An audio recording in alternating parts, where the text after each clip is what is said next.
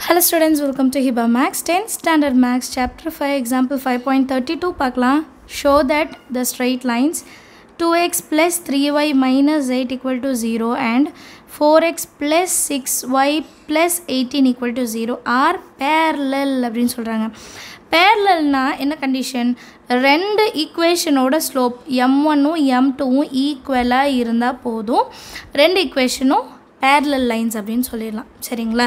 So முதல்ல அதுக்கு slope கண்டுபிடிக்கணும். ஸோ சொல்யூஷனில் ஃபஸ்ட்டு லைன் என்ன கொடுத்துருக்காங்க? Two x plus three y minus eight equal to zero இப்போ ஃபஸ்ட்டு ஸ்லோப் கண்டுபிடிக்கலாம். அது எம் ஒன்னுன்னு எடுத்துக்கலாம். ஸ்லோப் ஃபார்மில் என்ன? Minus coefficient of x divided by coefficient of y that is equal to minus எக்ஸுக்கு முன்னாடி டூ கோஎஃபிஷியன்ட் ஆஃப் ஒய்னா ஒய்க்கு முன்னாடி த்ரீ இது வந்து எம் ஒன் அடுத்த ஈக்குவேஷன் என்ன கொடுத்துருக்காங்க?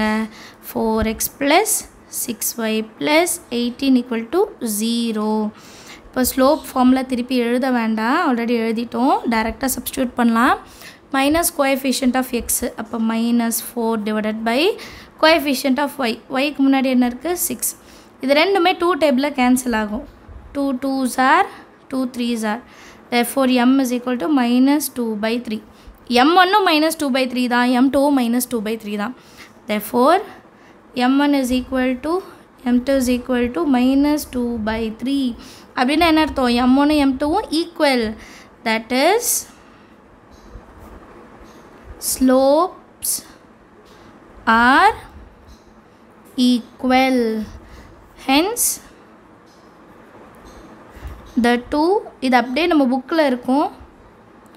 The two straight lines are parallel அப்படின்னு எழுதிட்டா போதும். சரிங்களா? ஈஸியாக இருக்குது பார்த்தீங்களா ரெண்டு ஸ்லோப் கண்டுபிடிக்கணும். ரெண்டுமே ஈக்குவலாக இருந்தால் பேரலல் அவ்வளோதான் சரிங்களா? தேங்க்யூ ஸோ மச் ஃபார் வாட்சிங்